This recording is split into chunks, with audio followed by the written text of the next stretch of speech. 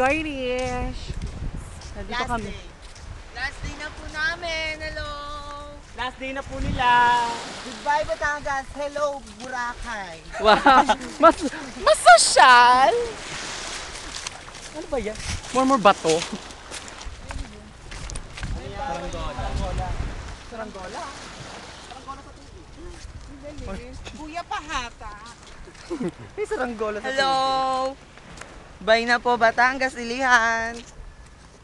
Bukas pa? Aray ko, tangina. Sana pulpa kang booking. Uy!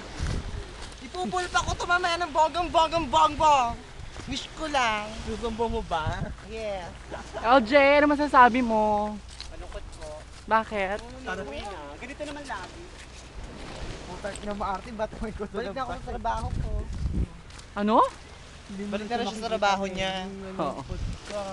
Ah, magpa-share, magpa-verbam. Sana sila hindi. No, because I'm... O basta usapan na natin yan ah. LJ.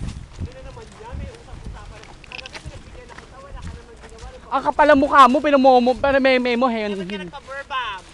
Eh wala na, wala akong choice. Oo. Panalo mag-verbam, di ba? Hindi ah. Panalo una. Hindi sa, di, di ko ba nakahuli sa amin? Oo, ako kaya.